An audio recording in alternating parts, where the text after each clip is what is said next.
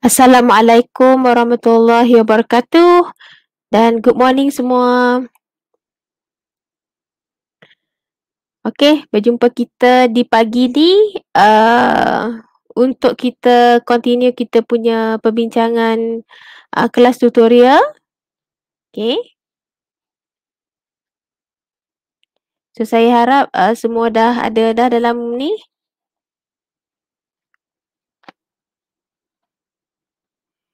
Okey, so untuk pagi ni kita akan discuss uh, soalan-soalan bagi Hess's Law dan juga saya akan sambung dengan Von Haber Cycle dan juga uh, soalan-soalan dia.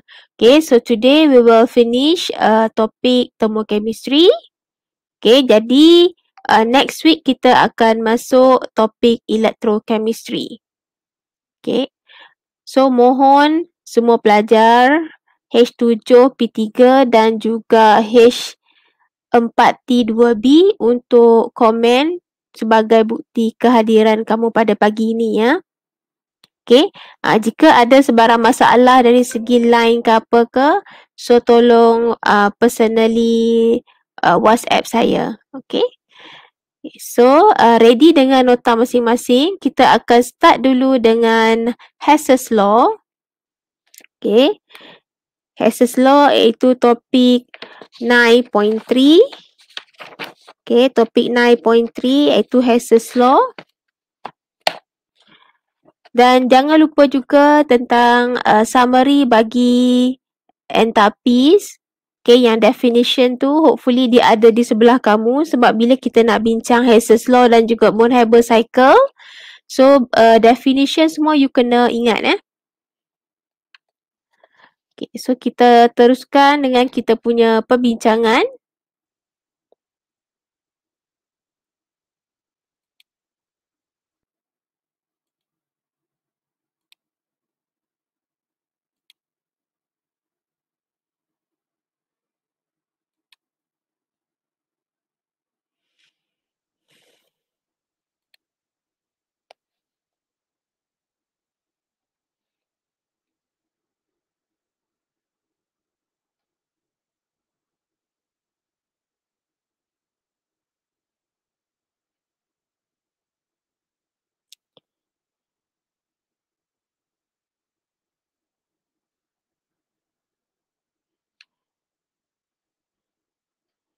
Can you see my slide?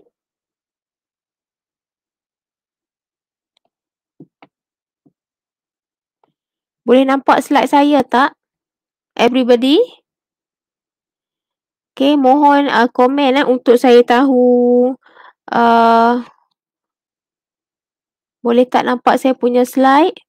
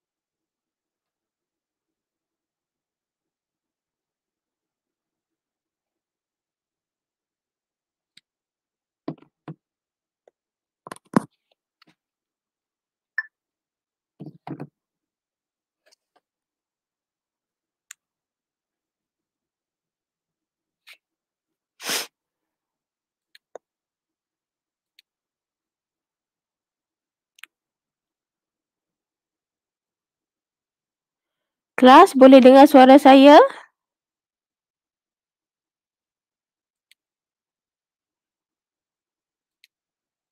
Boleh dengar suara saya?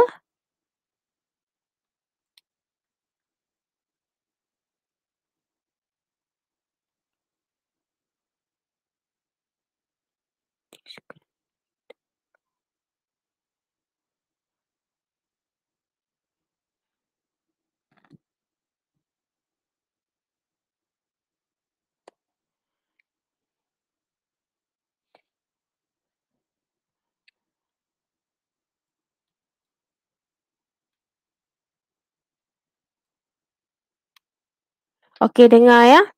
Okey, boleh nampak slide saya tak? Sebab saya dekat handphone saya, saya tak boleh nampak slide. Okey. This can be played in the background.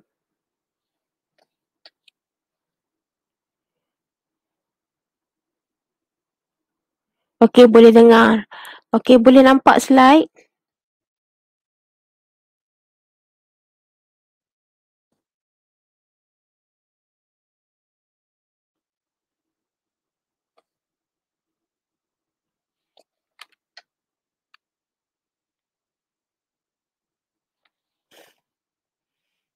Okey, nampak. Okey, thank you very much Asa atas respon.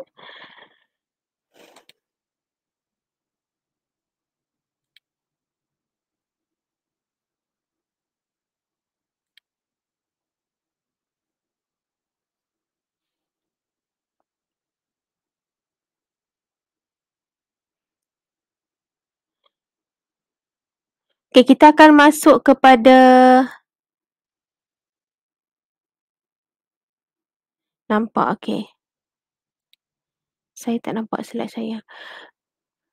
Okey, so kita tengok kepada Hess's Law sedikit eh.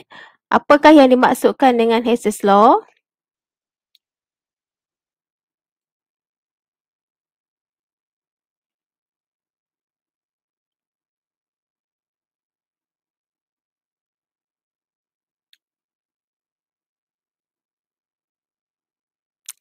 Okay, Hess's law states that when reactants are converted to product, the overall change in enthalpy is the same whether the reaction takes place in one step or in the series of steps, provided the initial and final conditions are constant. Okay, so dalam case ni, okay, dia menunjukkan bahawa, okay, maknanya Hess's law kata the enthalpy change Okay, where reactant change, change to product. Let's say kita kata A berubah menjadi B. A berubah menjadi B. Okay, katalah ini jalan shortcut. Eh. A nak jadi B ni adalah dia punya jalan shortcut. Contohnya, you ada dari you daripada asrama nak pergi ke ke uh, pergi ke mana? Dari asrama nak pergi ke pentadbiran. Okay. Asrama nak pergi ke pentadbiran pejabat tu. Okay, so you jalan shortcutnya, you lalu kot yang jalan co-op tu. Okay. Ha, so, tapi kalau lah kamu nak pusing, kamu nak pusing, you nak pusing kot padang, lalu kot tepi surau, baru pergi kepada pentadbiran. Ha, boleh juga. Jadi, matlamat dia sama. Jadi, dia kata kat sini, the enthalpy change is the same whether it takes one steps or in the series of steps. Okay, maksudnya you nak ikut jalan dekat ke, you nak ikut jalan jauh ke, still kita akan sampai kepada produk. Jadi enthalpy change dia adalah sama. Okay, jadi delta H1 sama dengan delta H2 plus delta H3. Okay, so kita tengok kepada soalan. Okay, soalan yang Okay, di sini saya ambil soalan. Ya eh.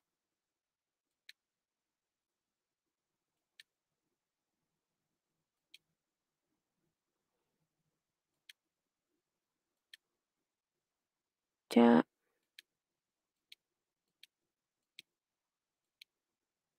Eh, set.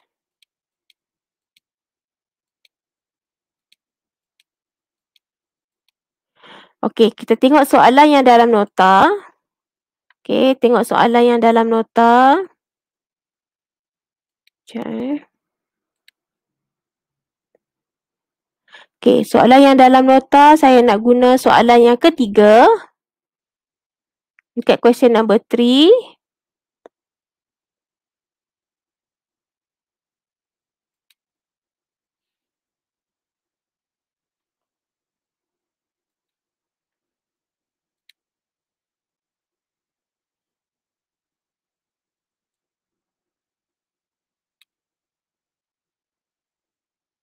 Okay.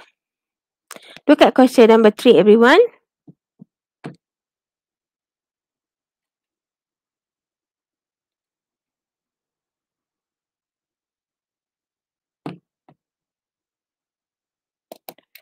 Kejap ya. Saya, saya ada masalah line saya. Kejap eh.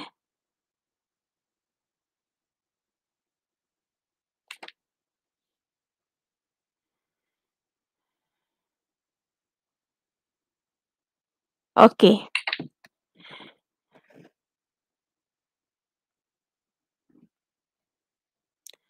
Okay, look at question number three. Determine the enthalpy of formation of liquid hydrogen peroxide H2O2 at 25 degrees Celsius from the following thermochemical equations.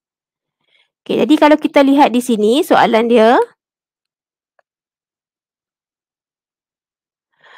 Okay, diberi, ditanya kita adalah enthalpy of formation So ini adalah lima enthalpies yang diberi untuk kita selesaikan enthalpy of formation of liquid hydrogen peroxide. Okay, kita cuba untuk selesaikan soalan ni. Okay, jadi tips dia di sini, jika soalan dia adalah enthalpy of formation of liquid hydrogen peroxide, jadi first kali step pertama adalah kita kena tulis equation bagi enthalpy of formation of liquid hydrogen peroxide. So apa dia enthalpy of formation? So enthalpy of formation is the heat change when one mole of compound. So sekarang ni compound kita adalah apa? Compound kita adalah liquid hydrogen peroxide. Okay, compound kita adalah liquid hydrogen peroxide.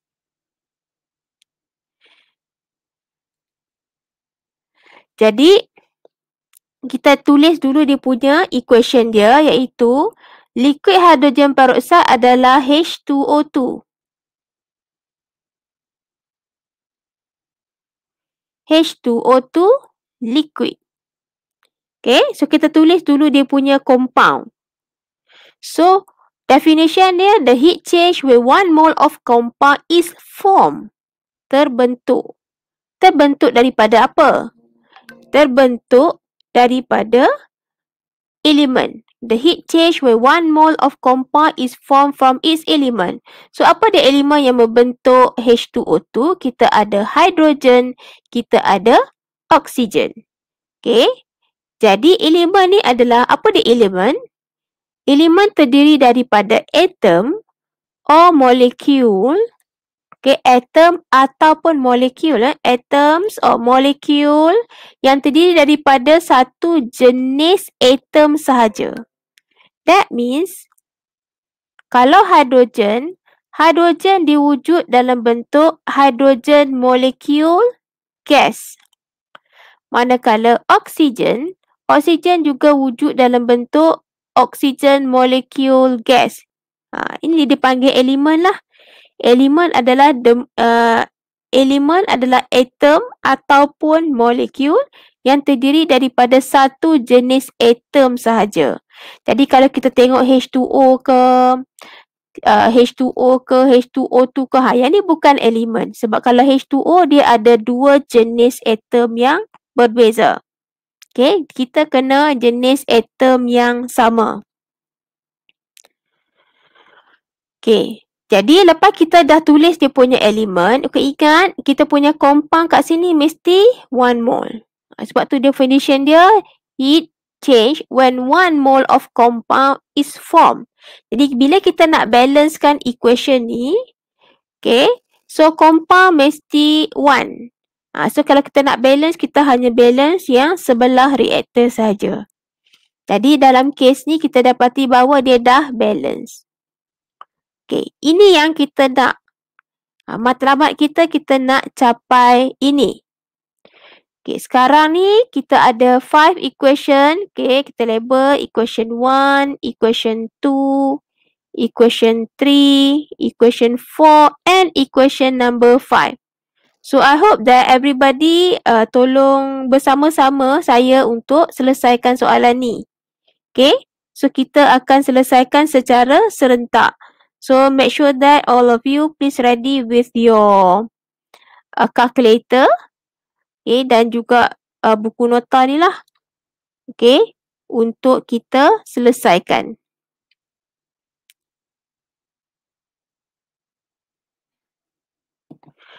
Okay, now kita tengok ah matlamat kita sekarang ni adalah kita nak H2 berada di sebelah kiri sebagai reactant.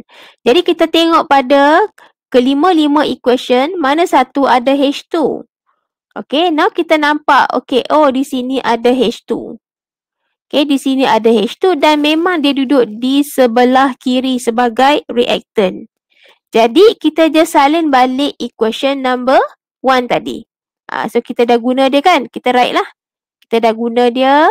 So kita kesalin balik. Iaitu H2 gas plus half O2 gas. Kita akan dapat H2O gas. So bila kita dah tulis dia punya equation, So make sure that kita juga tulis dia punya delta H dia. Iaitu negatif 241.82.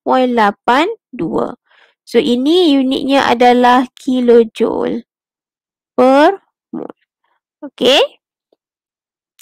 So maknanya equation 1 kita dah gunalah. Okay. So apa yang kita dapat tadi, kita highlight. Ha, kita highlight sebab kita dah dapat dah. Okey. Kita highlight. Ah, yang ni pun sama juga sebab kita highlight sebab kita dah dapat seperti yang kita nak. Okay, next kita nak oksigen dekat sebelah kiri. So, kita tengok pada lagi empat lagi equation. So, bila kita tengok, eh dekat sini ada oksigen, dekat sini pun ada oksigen, dekat sini pun ada oksigen. Jadi, kita tak boleh selesaikan dia. Kenapa dia ada pada banyak equation? So, you biarkan dulu. Okey, so kita biarkan dulu oksigen ni. So sekarang kita apa matlamat kita yang lagi satu? Kita nak H2O2 liquid berada di sebelah kanan. So nak kita carilah dekat kita punya lagi empat equation ni. Mana satu ada H2O2? Okey, di sini H2O2 ada pada equation number 5. But it stay in the left left side. So apa perlu kita buat? Kita perlu tukar kedudukan dia. So, bila kita tukar, maknanya kita reverse. Okay, kita reverse. So, bila kita reverse, ingat eh. Bila reverse, maka sign dia akan berubah. Sign dia akan berubah ya. Okay, so kita salin equation nombor 5, tapi kita reverse lah. Jadi, maknanya H2O2 li eh, sorry, H2O2 gas menghasilkan H2O2 liquid. Okay. Jadi kita terbalikkan juga dia punya sign. Kalau sini positif, maka dia akan jadi sini negatif. So negatif 52.46. Okay. So kita dah guna dah equation number 5. Okay. Next. Okay. So bila kita dah dapat, kita highlight lah kita dah dapat. Kita highlight. Okay, sekarang ni kita nak uh, O2 je tinggal kan? O2 je tinggal. Tapi sekarang O2 ada pada banyak tempat. Bila dia ada pada banyak-banyak tempat, jadi tak perlu kamu susah-susah hati nak selesaikan dia. Biarkan dia. Jadi strategi kita yang seterusnya adalah kita tak nak yang ni, yang kita tak highlight ni kita tak nak. Kita nak cancelkan. So macam mana cara kita nak cancelkan benda kita tak nak ni? Okay, cara dia kalau kita nak cancel, kalau kat sini H2O ni duduk belah kanan, kita kena cari equation yang H2O di sebelah kiri. Dia bila kita boleh cancel kiri, kanan. Okay. Kiri kanan kita boleh cancel. Okay, jadinya sekarang ni adalah Uh, kita tengok, kita sekarang kita nak cancel H2O gas. Kat mana ada H2O gas? Okay, H2O gas ada pada equation number 2. Tapi, nak cancel H2O2 ni kita kena pindahkan ke sebelah kiri. Baru dah jadi kiri kanan untuk kita cancel. Jadi, equation number 2 ni kita kena reverse. Okay. Equation 2 kita akan reverse apa benda yang kita operation di sebelah sini so kita tulis supaya nanti kita senang nak buat nak buat uh, nak buat apa check ah kita nak check semula tu senang jadi sekarang kita nak guna equation tu iaitu H2O okay, produce 2H gas plus half O2 gas. Okay, so bila kita reverse, ingat eh, ini sign ni pun kita kena reverse kan. So, dia akan jadi positif 926.92.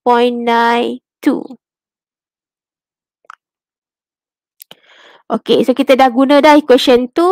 Jadi, yang mana yang sama kita boleh cancel. Okay, H2O. Okay, yang ni jangan lupa ya. Kita kena completekan dia punya phase. So, dalam thermochemistry, phase wajib ditulis ya. Okay. So, kita dah cancelkan H2O. Now, kita nak remove ni H2O2 gas pula. So, H2O2 gas ada kat mana? Ada pada equation number 3. So, dia mesti, kalau sini kiri, nak cancel mesti H2O2 gas yang lagi satu duduk sebelah kanan. Jadi kita tengok equation 3 memang dia duduk sebelah kanan. So kita salin balik je lah. Okay, so kita je salin balik equation 3 iaitu 2H gas plus 2 oxygen gas, oxygen atom ya di sini. Okay, dapat H2O2 gas. So kita salin balik. So kita salin balik dia punya nilai negatif 1070.6.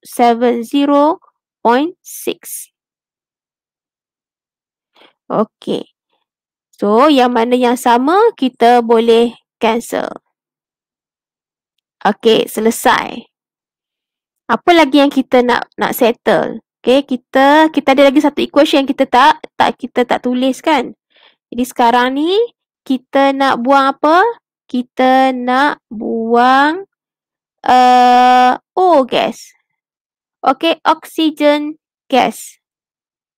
Okay, kita nak buang oxygen gas. Kejap ni ni boleh cancel lagi 2H dengan 2H. So, kita nak buang oxygen atom ni pula.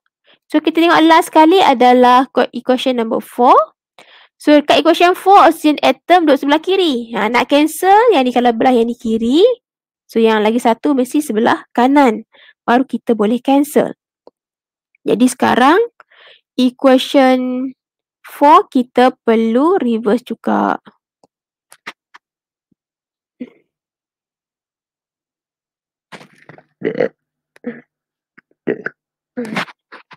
Okay, so kita reverse equation number 4. So dia akan jadi kat sini O2 gas produce two oxygen atom gas. So bila kita reverse, ini juga kena terbalikkan sign. So dia akan jadi positif 498.34 kilojoule per mole. Okey. Kita cancel yang okay, dah habis kita guna dah habis kan? Now kita cancel yang mana kita boleh cancel lah. Okey, half O2, half O2 tu. Ha, so yang tinggal sekarang kalau kita tengok balik. Ha, nampak? Kita dah muncul lah oksigen tu. Seperti yang kita nak. So kita dapat dah semua. Nampak? Tu dia punya strategi. Okay? Nampak eh? Yang mana yang dapat kita highlight. Ha, so kita dapat seperti yang kita nak itu enthalpy of formation of liquid hydrogen peroxide. So bila kita dah dapat seperti yang di atas ni, maka Tadi yang kita dah tulis enthalpy change ni, so kita just tambahlah, kita jumlahkan je lah. Okay, so kita jumlahkan semua ni. Okay, kita jumlahkan semua ni, maka itulah jawapan dia. Okay, so you akan dapat answer dia adalah... So dia adalah apa ya? Okay, eh, kita tengok jawapan dia di situ. Okay, positive 60.38 kilojoule per mole. Okey, dapat tak semua kelas? Semua dapat ke? Iaitu positif 60.38 kilojoule per mole. So, enthalpy of formation bagi liquid hydrogen peroxide adalah positif. Mesti ada tanda positif. Okay, mesti ada tanda positif. Kalau you tak letak tanda positif, salah lah. So, penat je lah kita calculate. Okay, kilojoule per mol. Okay, so Alhamdulillah semua boleh dikatakan semua dapat. Okay, next kita nak pergi kepada uh, soalan empat. Okay, soalan empat.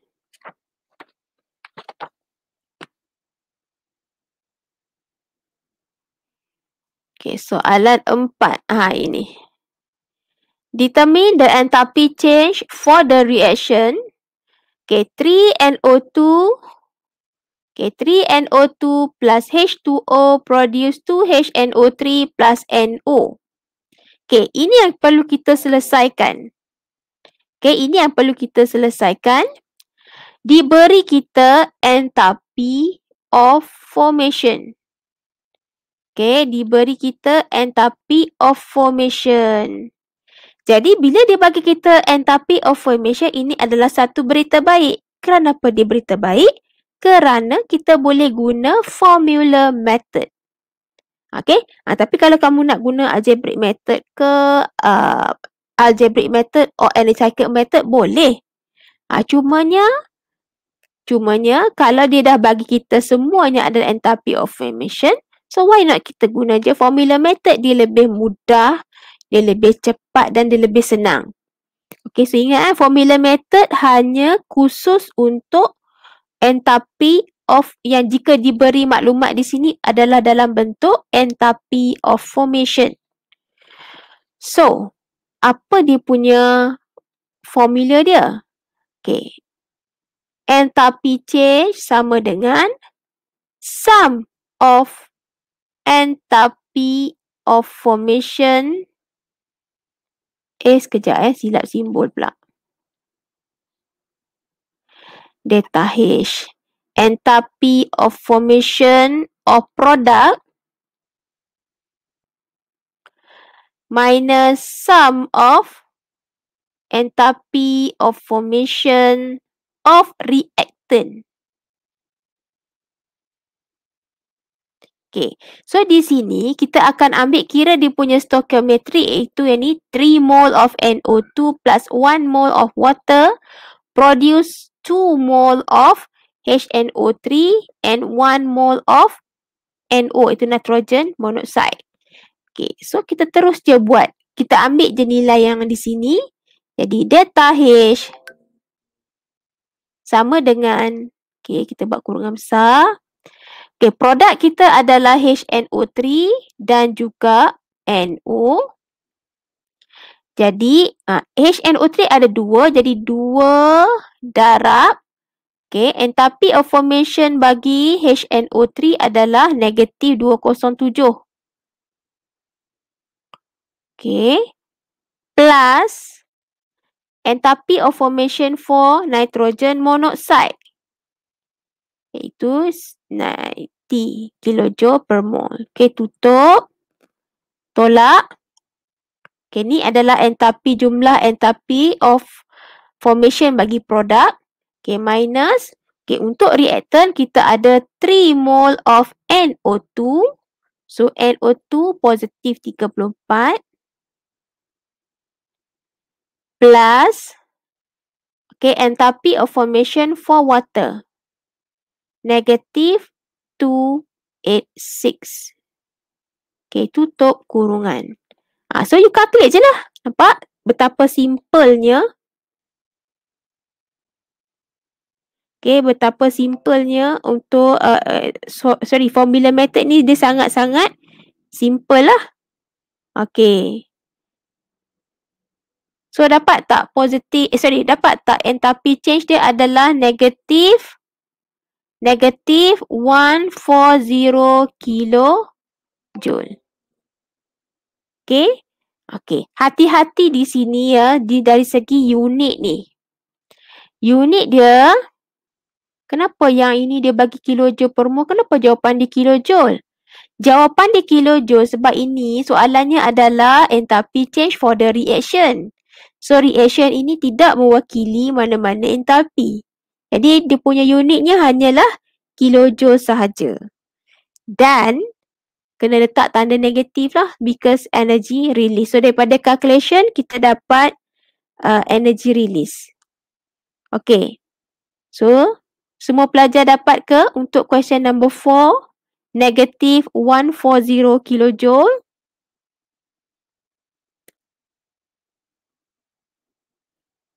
Okay, please respond everybody. Dapat tak? Just tekan calculator je kan? This one. Okay, just tekan calculator sahaja guna formula untuk dapatkan jawapan. So, dia sangat-sangat mudah. Okay, Alhamdulillah semua dapat. Okay, uh, jika kamu kata cikgu tak mencabarlah formula method ni, kami nak buat algebraic method. Boleh ke?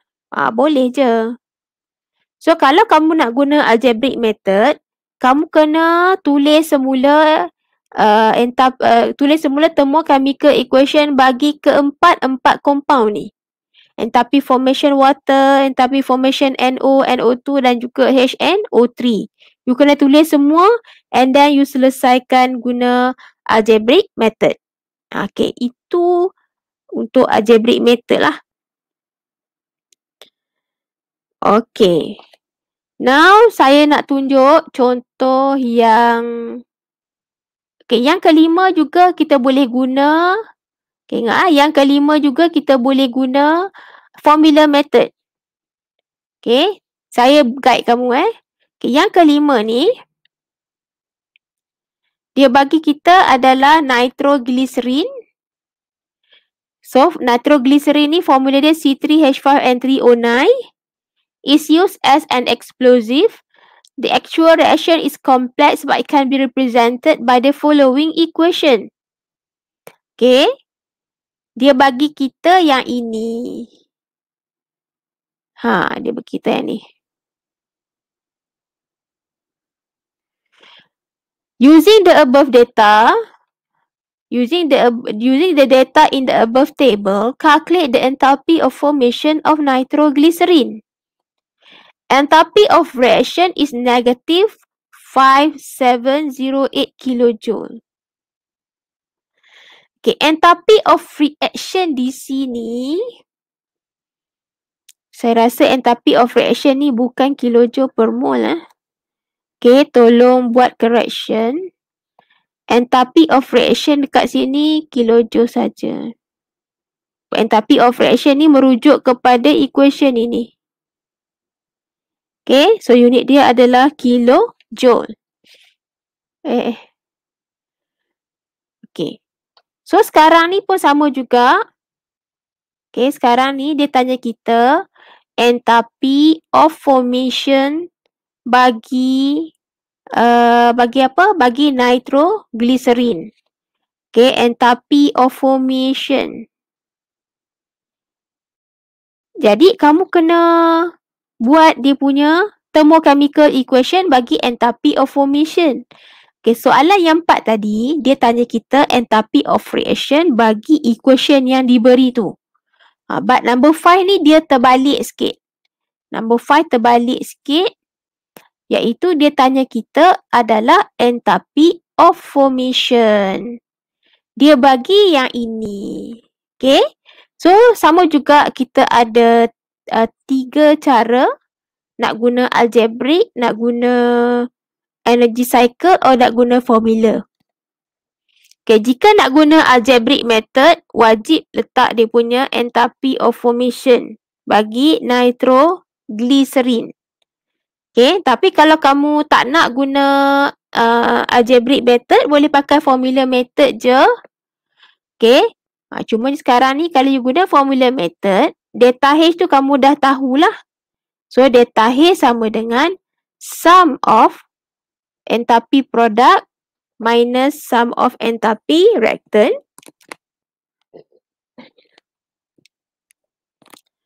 Okay, so sekarang ini kita kena tengok dulu. Okay, kita nampak equation ni. Equation ni nampak macam banyak kan dia punya dia punya bahan-bahan dia.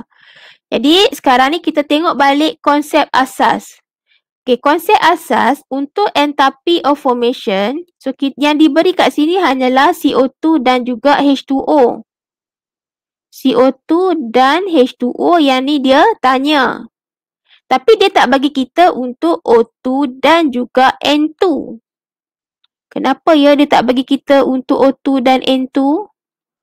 Okay, so kalau you tengok balik, O2 gas, okay, O2 gas dan juga N2 gas, kedua-dua molekul ni adalah elemen. Elemen in their most stable state. Jadi, elemen in their most stable state, dia punya enthalpy of formation bagi elemen, standard enthalpy of formation bagi elemen adalah zero. Nilai dia adalah kosong. So, you boleh refer balik dalam subtopik 9.1. Okay.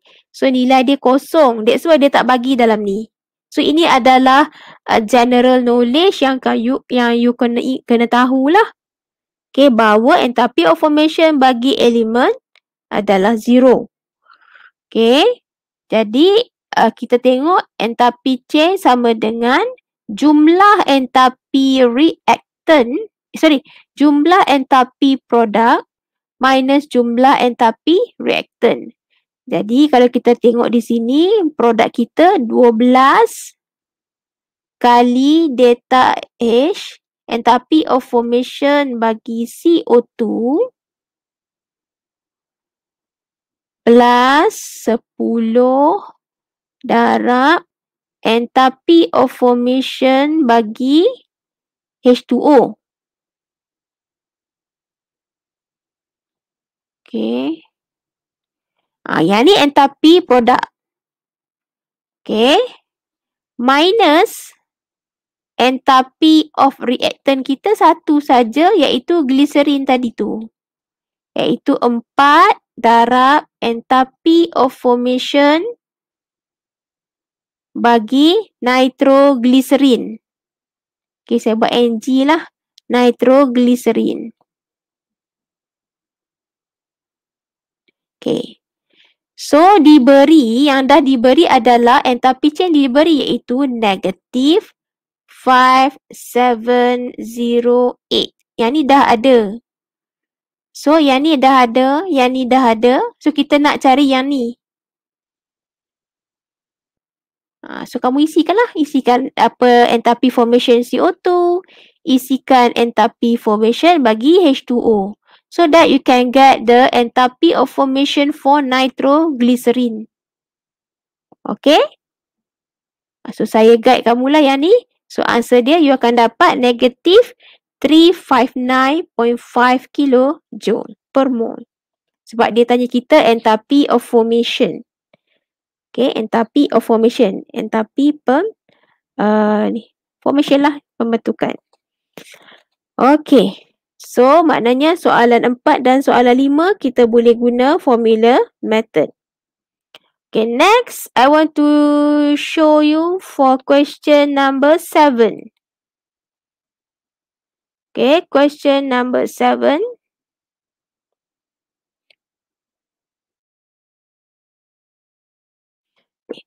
Question number seven, nitrogen oxides undergo many interesting reactions. Calculate delta H for the overall equation yang dia beri di sini. Okay, jadi paling okey dekat sini kita ada kita tak boleh gunalah formula method sebab dia tak bagi kita enthalpy of formation.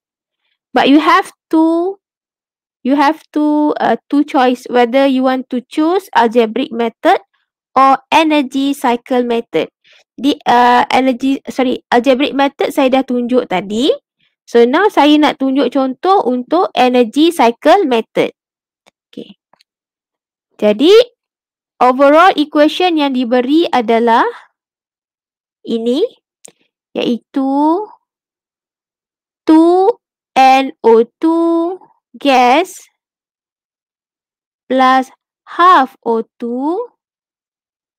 should be gas eh, kat sini eh. patutnya ada phase eh. Tolong letak phase ya, O2 gas. Okay, produce N2O5 solid. Okay, dia tanya yang ni. Okay, dia tanya kita entropy change bagi ini. Okay, tanya kita yang ni. So, diberi N2O5 produce 2NO plus 3 per 2O2 dan yang kedua adalah nitrogen monoxide plus. So, kat sini ada plus eh. Plus half O2 gas dapat NO2 gas. Okay, saya nak tunjuk kat kamu macam mana kita nak buat energy cycle method. Okay, energy cycle method kita akan buat untuk combustion lah. Okay. So, kita tengok yang mana satu menghasilkan NO2. Ha, NO2 ha, di sini pada equation yang kedua. Ada NO2. NO2 dihasilkan daripada apa? Daripada NO. Ha, daripada NO gas. Okey. Tapi sekarang ni, kat sini kita nak 2NO2. Kat sini 1NO2. Jadi kita kena darab 2. So, bila kita darab 2, oksigen pun darab 2. So, dia akan jadi apa? Dia akan jadi di apa darab 2. Darab 2 dia akan jadi O2 lah kan? 3 per 2 pula, sorry. Okey, dia akan jadi O2 lah.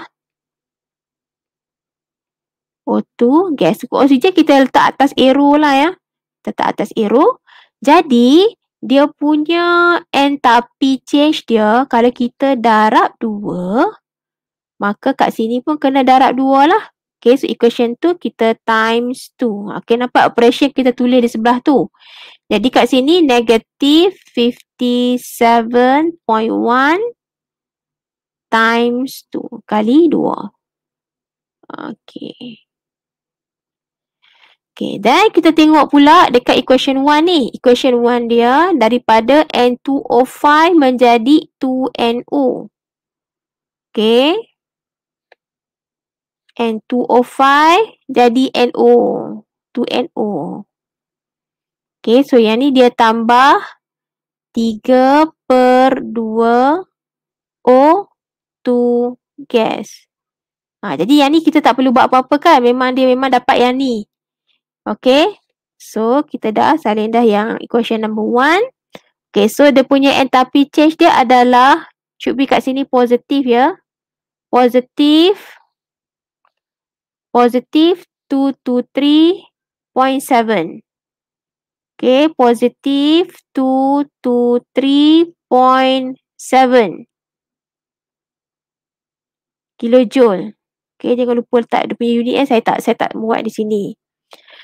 Okay. Jadi, ni kita dah siap dia punya cycle dia dah. So, sekarang ni macam mana kita nak jawab soalan. Okay, nak jawab soalan kita akan guna konsep dari mana nak ke mana. Dari mana nak ke mana. Soalan dia lah maknanya. So you ada di sini. Nak balik rumah kat sini. Sebab dia tanya kita enthalpy change kat sini. Macam mana dia nilai enthalpy change ni? Okey, jalan ni jambatan runtuh tak boleh nak lalu. Jadi you kena ikut jalan jauh. Jalan jauh dia adalah you kena patah balik ke sini. You kena ke sini. Baru sampai rumah. Okay, jadi sekarang bila you patah balik, so kalau kat sini anak panah ke sini is negatif, you patah balik, jawapan dia adalah positif. So positif, okay, saya tulis kat sini eh. Positif 57.1 times 2. Okay. Dan you kena ikut yang ni. Patah balik juga. Tambah. Patah balik. Kalau kat sini. Positif 2, 2, 3 ke sini. Patah balik. Dia akan jadi negatif. So negatif 2, 2, 3. 2, 2, 3.7. Jadi data H dia. Okay, data H yang ni sama dengan kalau ikut jalan jauh, patah balik dan patah balik juga. Okey. Ha, siaplah. Ha. Ini adalah kaedah energy cycle method. Okey, dapat tak? Negatif 109.5 kJ.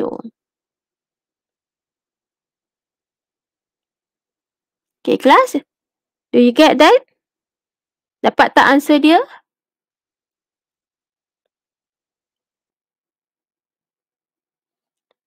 So, please comment untuk saya dapat maklum balas. Dapat tak nilai dia negatif 109.5 kilojoule? Okay, unit dia kilo, joule ya, bukan kilojoule per mol.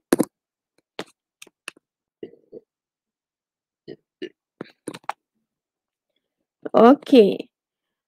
So, uh, energy ini adalah kaedah menggunakan energy cycle method. Okay, tetapi jika kamu tak, tak, madam susahlah nak buat energy cycle method ni. Susahlah because energy cycle method, yes, energy cycle method ni you kena kreatif lah. Okay, you kena kreatif, you kena nampak. Uh, okay, that's why kalau you tengok dalam nota, energy cycle method ni untuk uh, tindak balas yang simple-simple. Ha, ni agak simple lah. Ni benda simple. Soalan ni simple eh.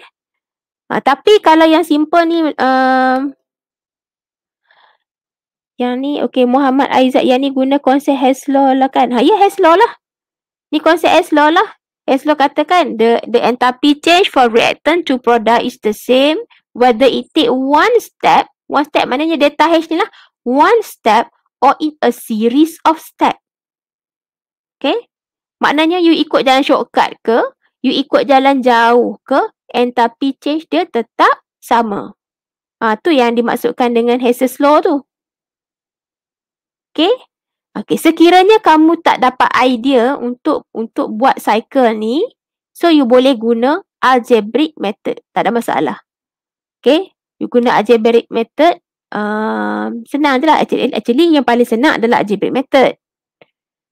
Okay, tapi yang paling cepat adalah energy cycle method. So, dia depends kepada uh, depends kepada individu.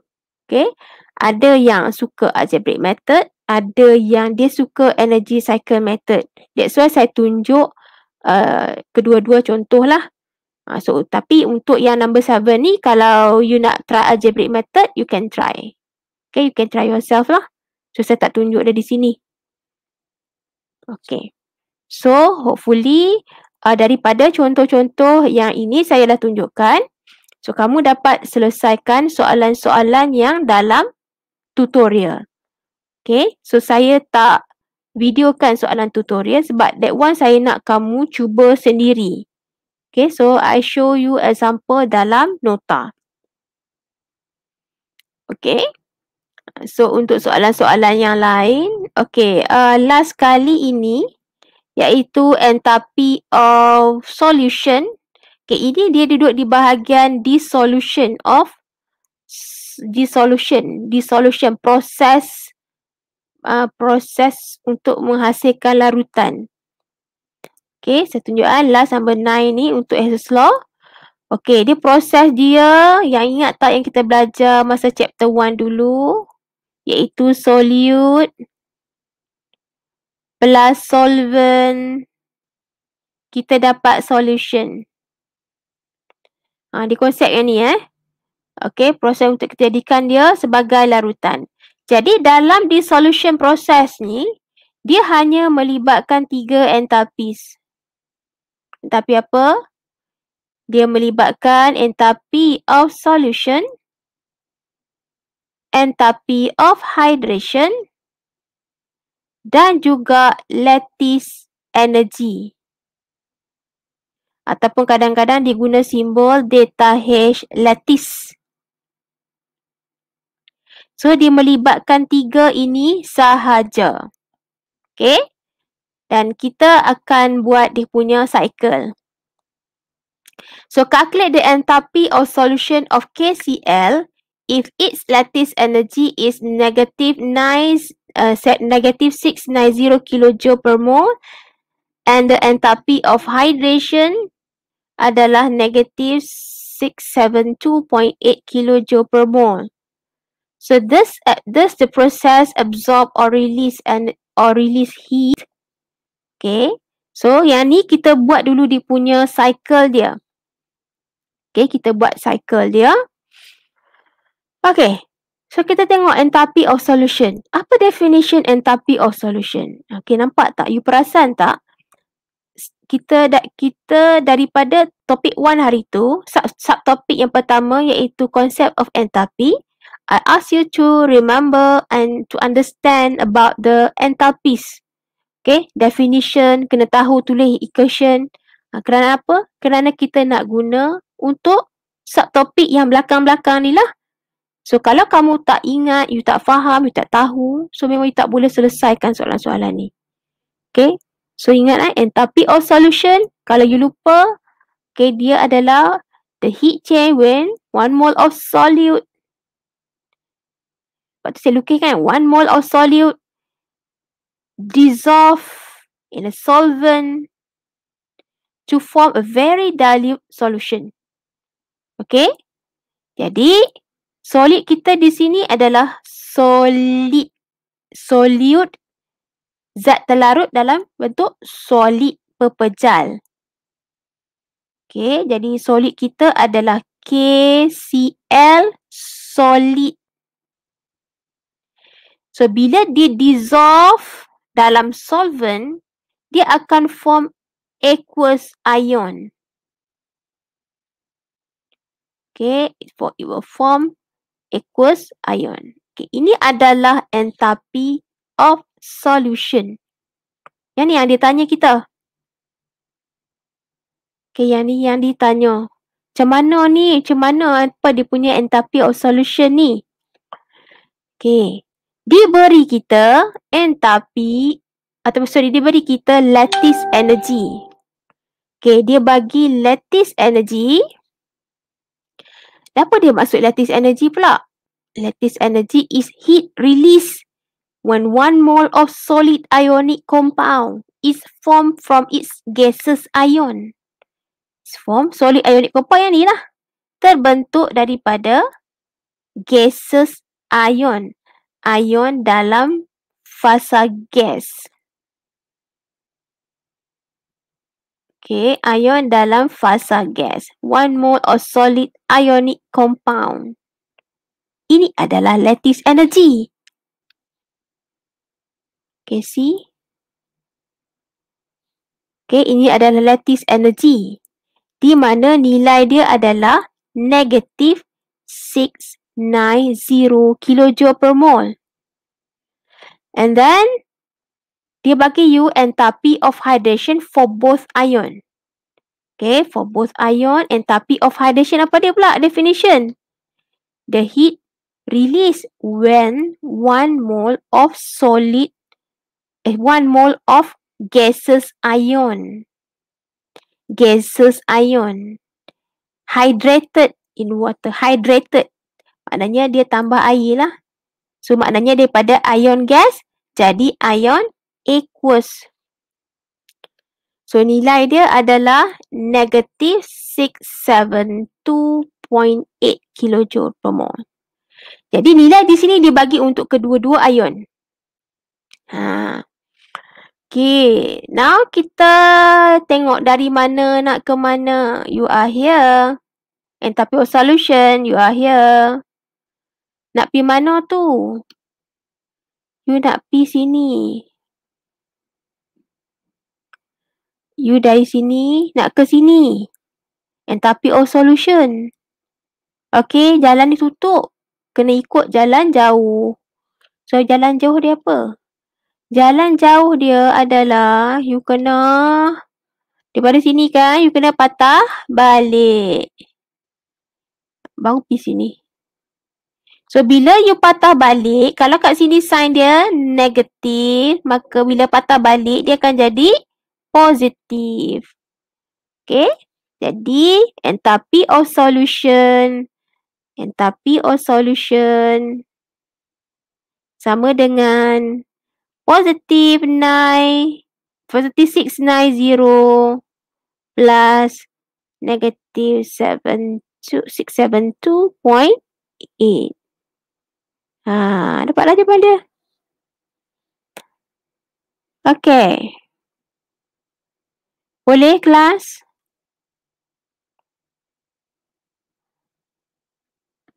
Boleh ke? Okay.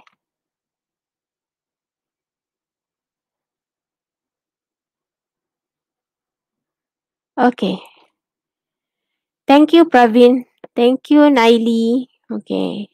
So Alhamdulillah kita dah berjaya selesaikan beberapa soalan. Okay, satu, dua, tiga, empat, lima. Okay, saya tunjuk kamu lima contoh. Okay, lima contoh uh, soalan Hess's Law. Okay, so hopefully you can try answering tutorial question. Okay, dan juga uh, camp friend question lah. Okay, camp friend question untuk uh, latihan eh sebagai latihan. Okay. Jadi sekarang ni saya nak continue kepada Born-Haber cycle. Okay, saya nak continue kepada Born-Haber cycle pula.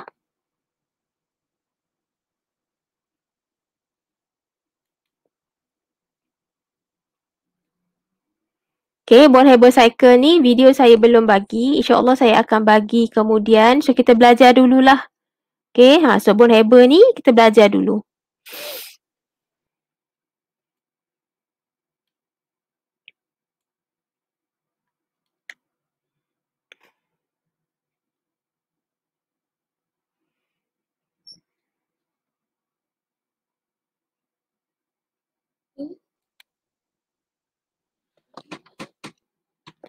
Okey, jap eh.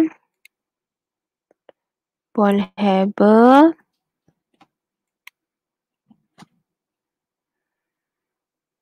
Share screen.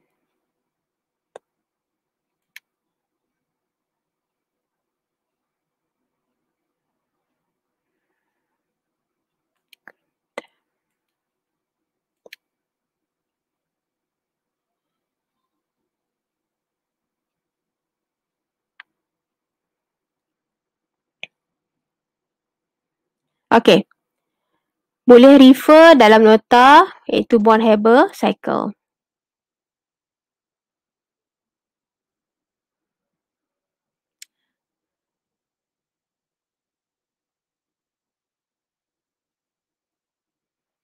Okey, objektif untuk uh, Born-Haber cycle. Okey, Born-Haber cycle adalah subtopik yang terakhir. Okey, subtopik terakhir So dalam Born-Haber cycle ni masih lagi okay, masih lagi yang perlu kamu tahu adalah uh, definition. Okay, ingat keseluruhan topik termochemistry ni adalah yang paling utama, yang paling pokok sekali adalah you kena tahu, ingat dan boleh boleh tulis balik entapi semua tu. Okay. Uh, dia yang penting tu you faham. So bila you faham maka you akan automatically you akan ingat dan boleh tulis. Okay. So dalam Born-Haber define lattice energy and electron affinity. Okay. Explain the following effect lattice energy. Construct Born-Haber cycle for simple ionic solid and calculate enthalpy change using Born-Haber cycle. Okay, seperti dalam yang 9.1, kita ulang balik iaitu apa definition lattice energy. Lattice energy is the energy release. Energy release when one mole of ionic compound is formed from its gaseous ion yang macam kita buat tadi lah. Okay. The larger the data is lattice, that means more negative indicates higher strength of ionic bond in the ionic crystal and higher stability of ionic product ataupun ionic compound. Maknanya makin negatif nilai the, uh, lattice energy, maka semakin kuatlah okay, semakin kuatlah ionic bond dalam uh, ionic crystal tu. Itu dalam compound tu dia punya ionic bond dia sangat kuat because dia nak form. Ha, lattice energy ni dia adalah uh, form dia nak form lattice tu dia nak form struktur kekisi tu. So bila dia form dia akan release a lot of energy. So makin banyak energy yang dia release maknanya lagi kuatlah uh, kekuatan ionic bond tu. Ha macam tu. Okay? Dan lattice dissociation energy pula is the energy absorbed when one mole of ionic compound is completely separated. Ha, this one nak separate kan. Nak separate kan ionic bond tu.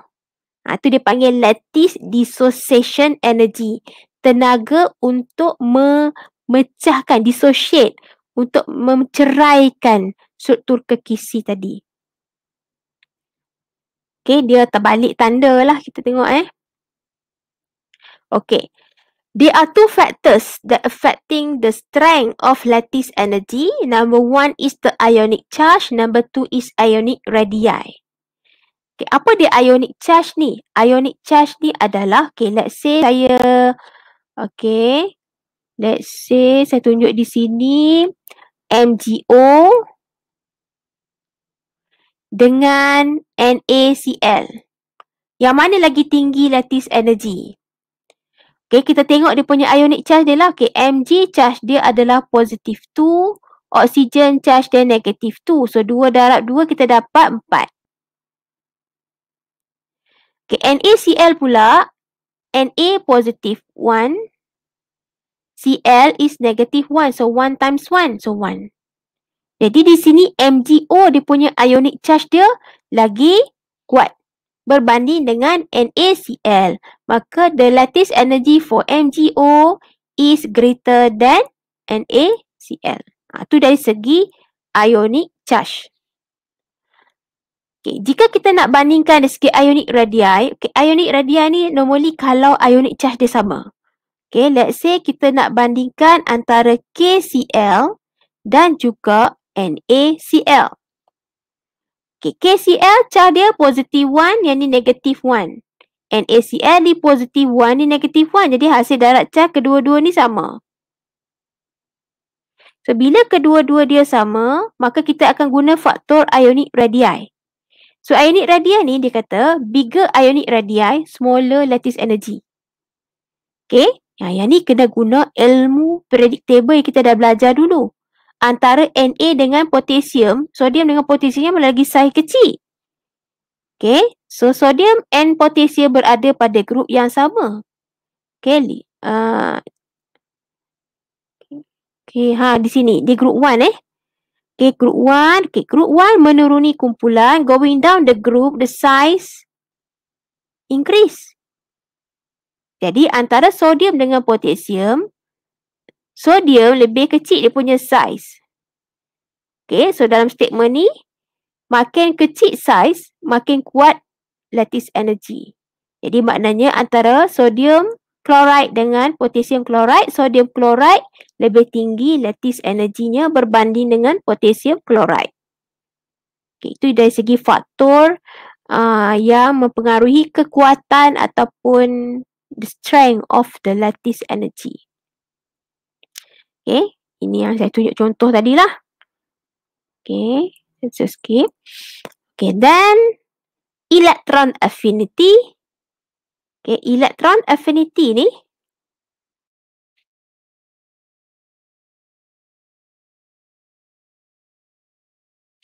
Okay. Electron affinity is the heat change when one mole of gases atom gains gain one mole of electron to form one mole of gaseous ion. Kenapa heat change? Sebab ada nilai dia yang negatif, ada nilai dia yang positif. Okay, let's say kita tengok yang ni oxygen. The first electron affinity of oxygen. So oxygen gas gain one electron. Dia akan jadi O minus. Okay, gain electron dia akan jadi O minus. Jadi di sini EA dia electron affinity dia is negative 142 kJ per mole. Jika oksigen ni kalau kita tengok eh oksigen dia 2S2 2P4 dia punya electronic configuration dia. Jadi kalau kita tengok dia punya orbital diagram dia bagi oksigen 2P4, 1, 2, 3, 4. Okay, oksigen ni, dia ada dua orbital yang single elektron. dia tak octet.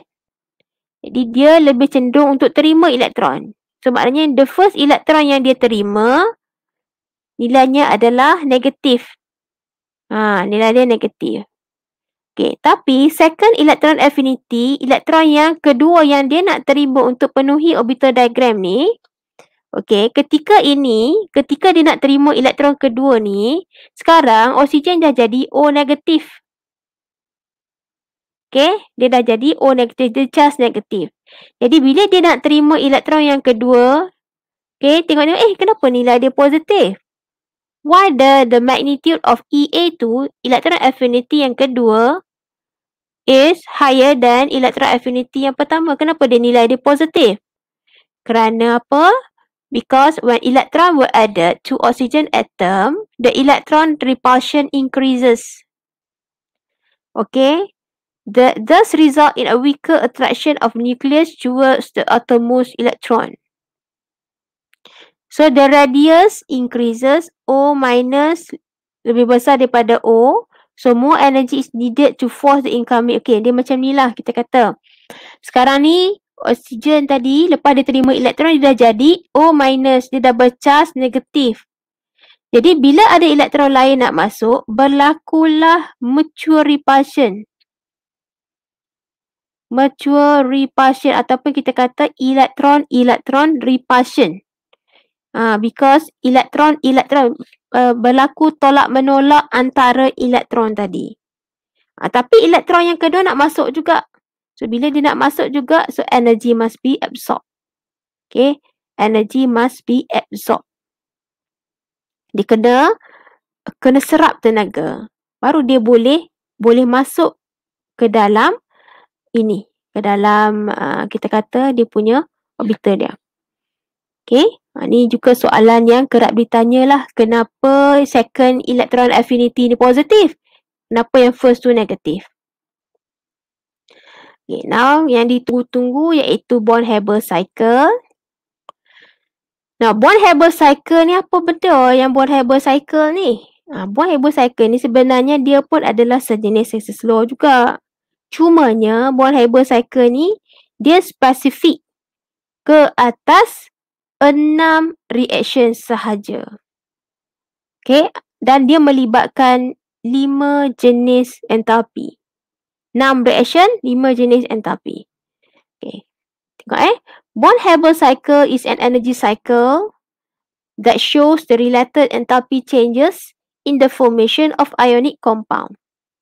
It is often used to calculate lattice energy or unknown enthalpy of an ionic compound by using the Born-Haber cycle. Okay, note the lattice energy cannot be measured directly from the experiment.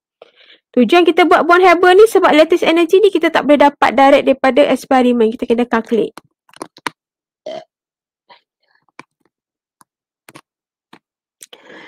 Okay, now. Ha, okay. Ada enam reaction. Okay, enam reaction melibatkan lima jenis entalpi. Okey, saya nak ajar kamu teknik yang mudah untuk kita uh, untuk kita tahulah macam mana nak buat buah Haber cycle. Kita ada enthalpy of formation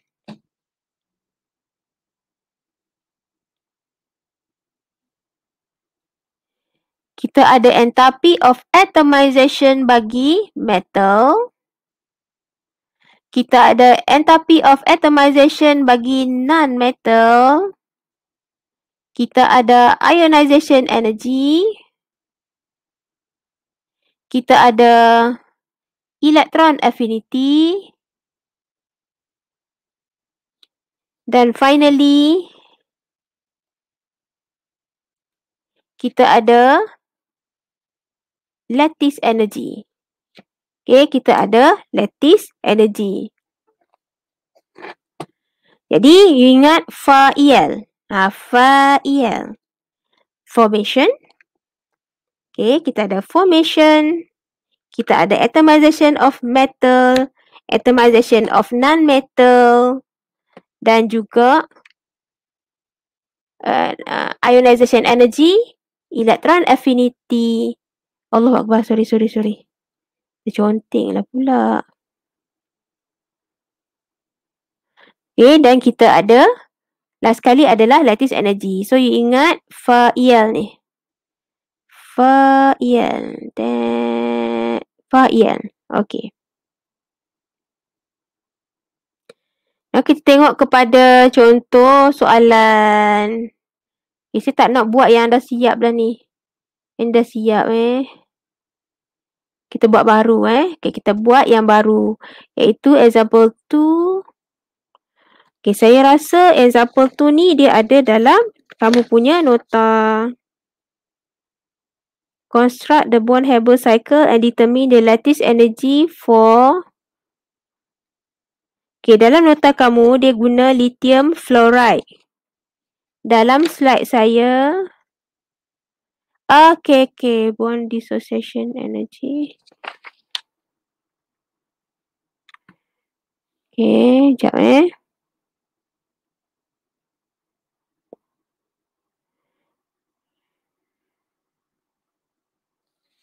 Okey, macam ni lah. Sekejap. Okey. Kamu guna yang dalam nota, kamu guna je lah yang lithium fluoride. Tapi saya tunjuk contoh di sini adalah calcium fluoride. You just ubah je lah. Okey, kamu boleh ubah. Kamu boleh follow, you boleh uh, follow yang guideline yang saya bagi ni. Tapi kamu guna contoh kamu lah. Kamu nak guna contoh saya pun boleh. Tak ada masalah. Okay, ha, kita sama-sama buat eh. You boleh screenshot. Okay, sebab nanti kamu bila kamu akan dapat nota yang dalam bentuk buku tu, dalam bentuk buku dia ada soalan ni. Okay, ataupun kamu boleh screenshot dulu untuk soalan. Nanti kita buat eh, sama-sama. Okay, construct a Born-Haber cycle and determine the lattice energy for calcium fluoride. Okay kita tulis siap-siap kita akan guna fa'il tadi. Fa'il.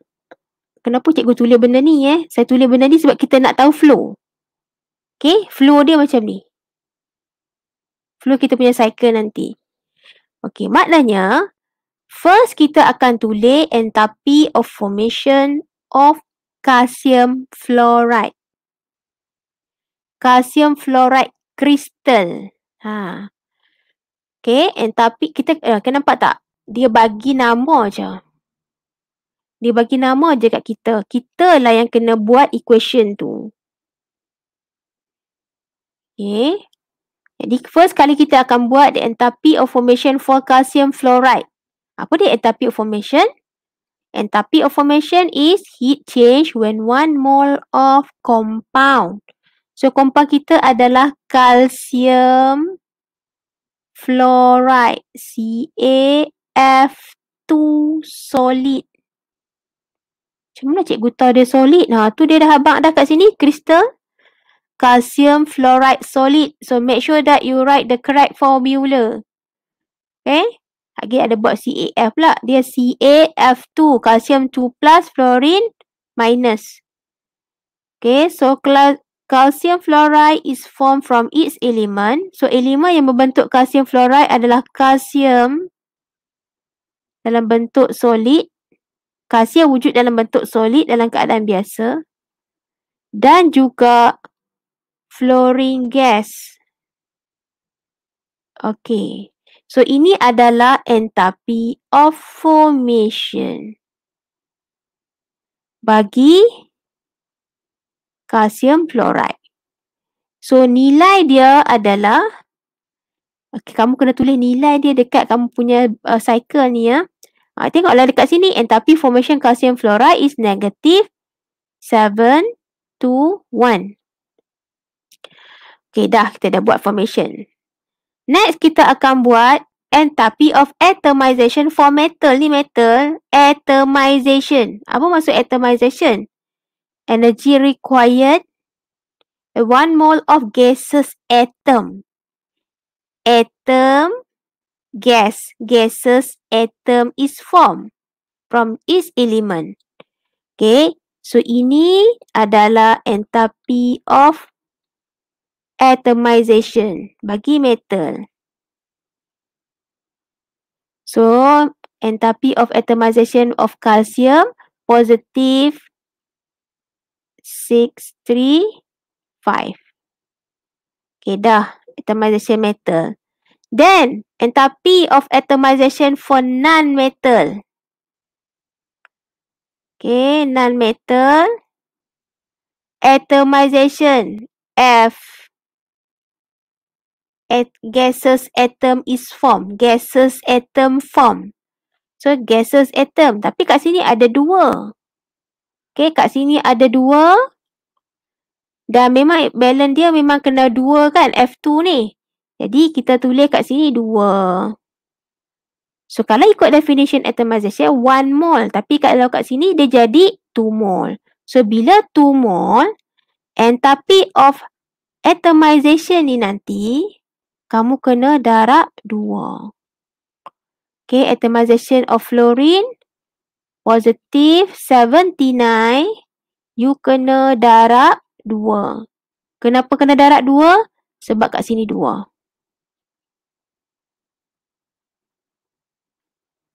Okay. Next.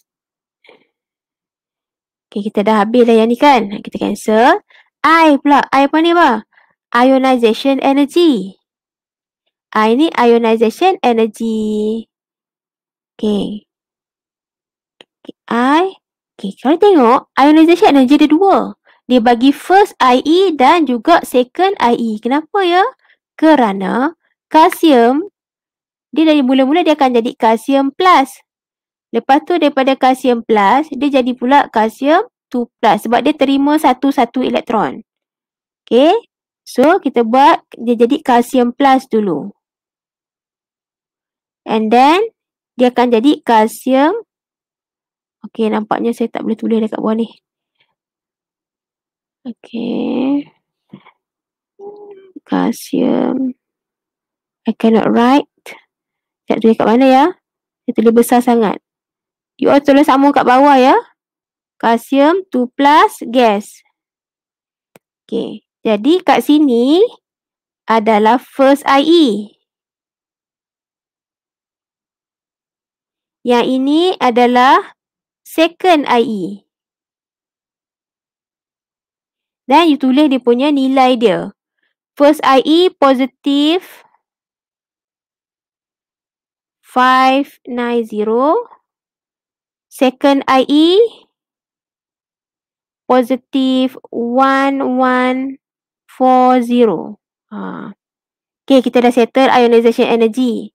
Next, E, electron affinity for non-metal.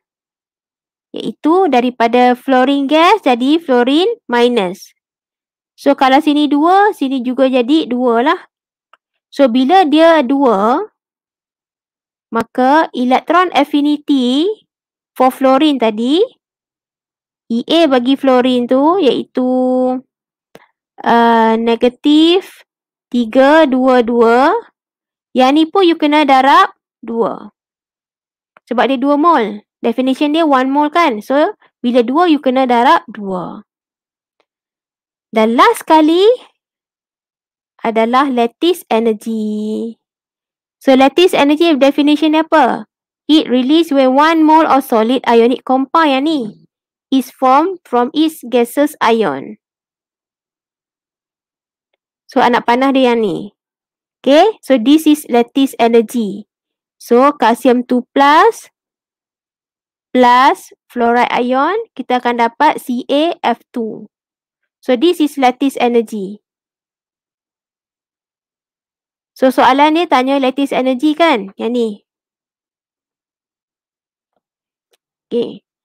Jadi macam mana kita, okay, kita dah siap lah ini adalah Born-Haber cycle. Okay, dia, dia sejenis cycle juga tapi cycle ini melibatkan enam reaction. Okay, enam reaction. Formation, atomization of metal, atomization non-metal, ionization energy. So dalam case ni kita ada dua ionization energy because kalsium ada kalsium 2 plus. Okay. And then kita ada lattice energy. So siap lengkap 6 reaction. So, untuk selesaikan lattice energy ni, okay. So, sama juga macam konsep Hess's Law tadi, iaitu dari mana nak ke mana. Okay, sekarang ni kita ada di sini. Nak menuju ke sini. Okay, sini ke sini maknanya enthalpy of formation. Enthalpy of formation. Okay, enthalpy of formation sama dengan ini jalan dekat kan? Ha, jalan jauh dia, you ikut jalan ni lah. Turun sini dan naik sini. Ha, ni jalan jauh dia. Jadi you kena tambah semua ni lah. Yang ni plus yang ni plus yang ni plus ini plus yang ni plus yang ni dapatlah enthalpy of formation. Okay? Ah, so sekarang ni dalam kes ni enthalpy formation kita tahu. So kita nak cari yang ni kan? Ha, so you bolehlah selesaikan. Okay, so ini adalah Born-Haber cycle. Senang je Born-Haber cycle ni sebenarnya. Ha, saya paling suka lah uh, Born-Haber cycle ni masa zaman-zaman matrik dulu. I like this topic. Okay, nampak tak? Ha, yang ni data H1 itu enthalpy of formation adalah hasil tambah semua ni lah. Ini tambah ini tambah ini semua dan ini ni. Okay. Yang mana yang uh, yang mana yang nilai dia positif you kena tanda, letak tanda positif ya. Because energy absorb. Okay. Ini positif. Yang mana negatif tu you akan letak negatif lah. Okay, so finally you akan dapat dia punya nilai dia adalah yang ni, iaitu lattice energy tu. Maknanya kita nak cari yang ni lah. Ha, okay. So, inilah lattice energy.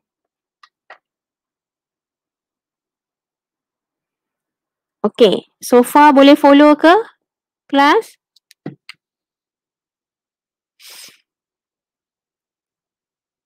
Boleh follow ke masing-masing?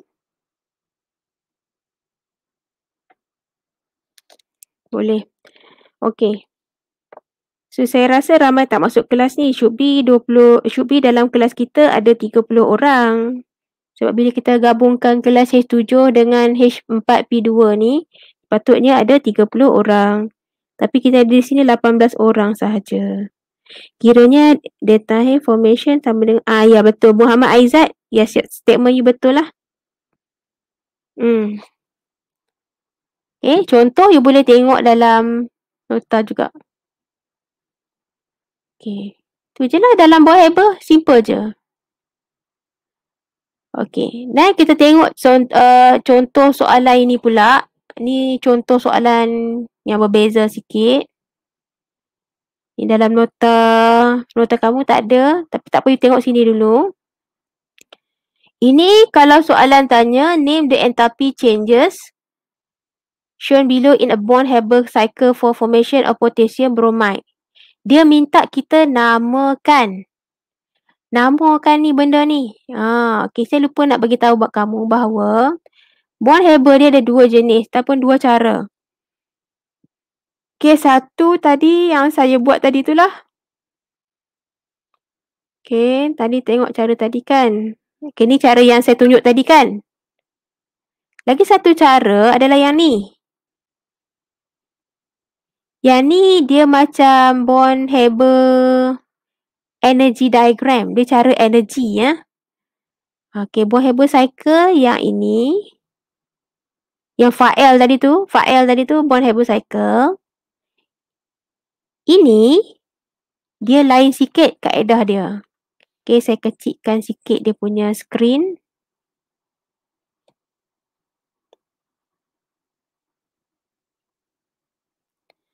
Okey, yang ni Born-Haber cycle can also be represented by energy. Eh, mana dia? By energy or enthalpy diagram. Okey, yang ni dia uh, macam kompleks sikit lah. Kerana apa? Kerana dia ikut kalau Okey, sekejap eh. Pravin dalam muka surat perempat dia ada bond dissociation. Okey, sekejap eh. Uh, Pravin, sekejap lagi saya akan jawab soalan kamu eh. Uh, bond dissociation tu, sekejap lagi saya jawab soalan kamu. Okey, saya tunjuk yang ni dulu. Okey, yang ni cara energy diagram. Energy diagram ni kalau uh, dia paksi, dia ada paksi energy. Kalau positif, anak panah kita kena ke atas. Kalau negatif, anak anak panah kita ke bawah. Ha, yang ni dia macam you kena tahu okay dia tu nilai positif ke negatif. Okay. Yang ni enthalpy of formation dia adalah one mole of compound is formed from its gas is element. Okay, ini adalah enthalpy of formation dia. Sebab dalam soalan enthalpy of formation diberi negatif. Jadi kita kena buat dia turun ke bawah. Sebab negatif ke bawah anak panah dia. Lepas tu, untuk enthalpy of atomization, okay, atomization dia nilai dia positif, so anak panah naik atas. Cumanya dalam uh, dalam cycle ni, kamu kena kamu kena tulis dua-dua sekali. Maknanya kena tulis Na solid plus half Cl2. Okay, untuk soalan ni dia buat NaCl eh. Okay, you kena buat anak panah naik atas. Kita hanya ubah yang ni. Kita ubah sodium dulu. Maknanya kita buat enthalpy of atomization bagi metal dulu. Untuk sodium dulu. Lepas tu, daripada atom gas ni, kita buat IE dia. Kita selesaikan untuk yang belah sodium dulu anak panah naik atas juga because IE adalah uh, energy required. Okay. Then lepas habis sampai IE yang untuk uh, untuk uh, ni metal then dia jadi atom gas and then dia jadi ion gas. Baru kita buat atomization bagi klorin. Ha, baru dia kita ubah pula klorin. Klorin, klorin molekul jadi klorin gas. Okay, so ini adalah enthalpy of atomization bagi klorin. Okay. Lepas tu untuk elektron affinity, elektron affinity nilai dia negatif, anak panah kita turun bawah pula. Okay, elektron affinity maknanya daripada klorin menjadi klorin minus. Ha, still, tapi Na ni kita salin balik lah. Yang, yang tak berubah, kita salin balik lah. Ah, yang ni yang berubah adalah pada chlorine gas kepada chlorine minus. Ini adalah electron affinity. Dan akhir sekali lattice energy nilai dia negatif. So daripada sini campur dua ni dapat lattice energy. Ha, ini adalah cara energy diagram eh. Okay, ini cara energy diagram. Uh, dia agak dia agak teknikal sikit sebab apa? Sebab kalau positif kena naik atas, kalau negatif kena turun di bawah. Ha, dia punya konsep dia sama juga. Enthalpy of formation iaitu yang ni. Enthalpy of formation adalah hasil tambah semua ni. Satu yang ni, yang ni, plus yang ni, plus yang ni, plus yang ni, plus yang ni. Okay, sama juga.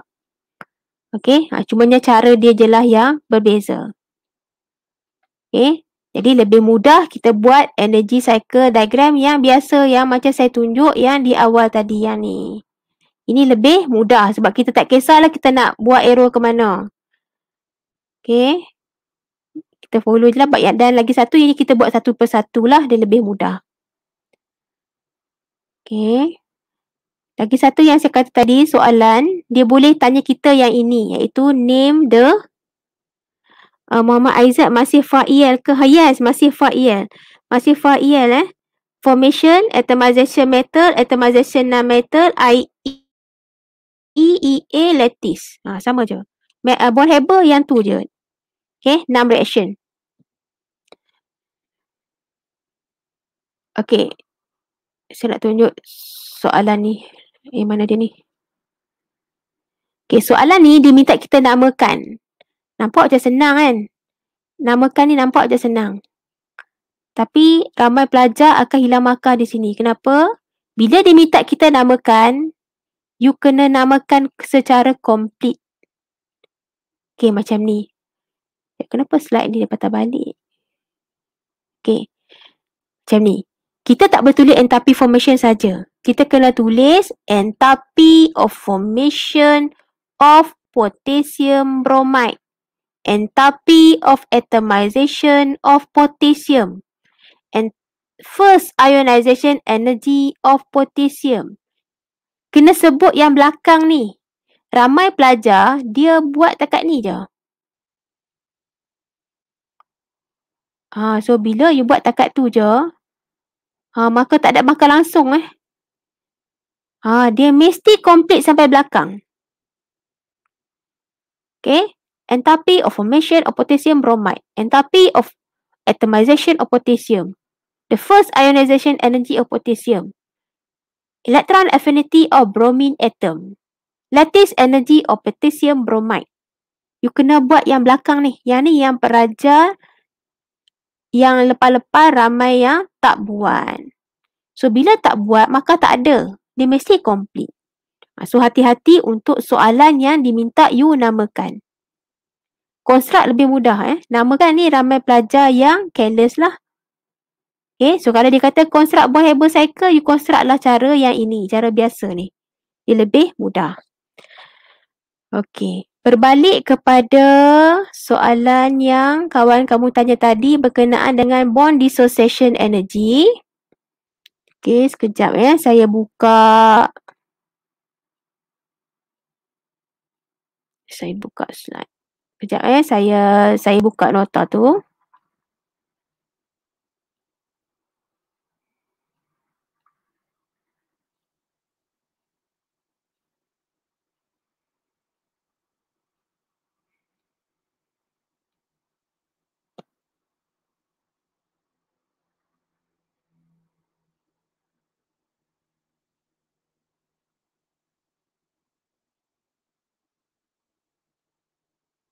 Bond dissociation energy. Yes, this one.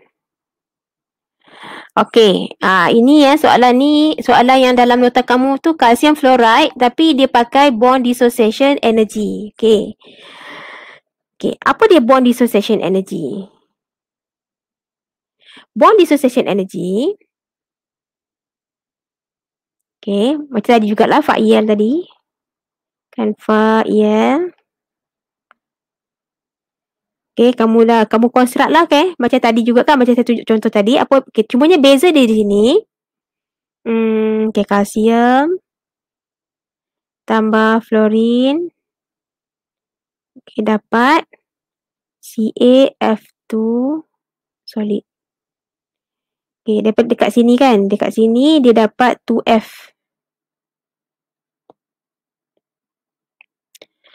Okay. Tadi kita buat yang diberi dalam soalan tadi adalah enthalpy of formation. Eh, sorry, enthalpy of atomization. Kalau dibagi you enthalpy of atomization, now jika di sini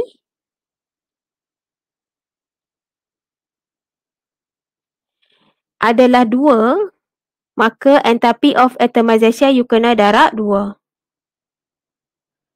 Yang tadi ya, kita buat tadi, Because definition enthalpy of atomization adalah when one mole of gases atom form. One mole of gases atom form. One mole of gases atom form. Jadi kalau dua mole, that means you kena darab dua. Tetapi jika dalam soalan dia bagi bond dissociation energy, bond dissociation energy ni dia merujuk kepada fluorine molecule one mole of fluorine molecule dissociate, tercerai. One mole of fluorine molecule tercerai. Jadi, jadi, dia merujuk pada one mole. Yang ni memang ada one mole of molecule ni tercerai. Jadi, nilai 318 tu, positif 318 iaitu bond dissociation energy bond dissociation energy saya buat BDE ni nilai dia adalah sama dengan enthalpy of atomization yang kita darab 2. Jadi jika dia bagi kamu bond dissociation energy, you just ambil saja nilai dia iaitu 318. Positif 318. Tak perlu darab 2 sebab dia bukan enthalpy of atomization. Tapi kalau dia bagi you enthalpy of atomization, you kena darab 2. Kalau dia bagi bond dissociation energy, tak perlu darab 2, ambil terus. Ambil terus nilai ini. Okay? So, bond dissociation energy adalah sama dengan enthalpy of atomization darab 2. Jelas? Okay, jelas ke semua wahai pelajar-pelajarku sekalian? Okey, so Alhamdulillah tamatlah kita, topik kita iaitu termokemistri. So diharapkan selepas ini um, Okey, so habis dah kita punya topik. So saya mengharapkan agar uh, daripada contoh-contoh yang saya berikan ini kamu dapat buat soalan tutorial dengan dengan tepat, uh, dengan lengkap Okay, dan dengan segala sukacitanya uh, tolong submit tutorial itu pada hari Isnin di atas meja saya.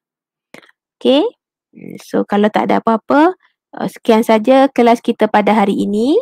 Okay, so kamu boleh uh, lihat semula uh, sesi ini sebab saya akan uh, tinggalkan di YouTube saya tapi kamu kena guna link yang diberi tadi. Link yang sama.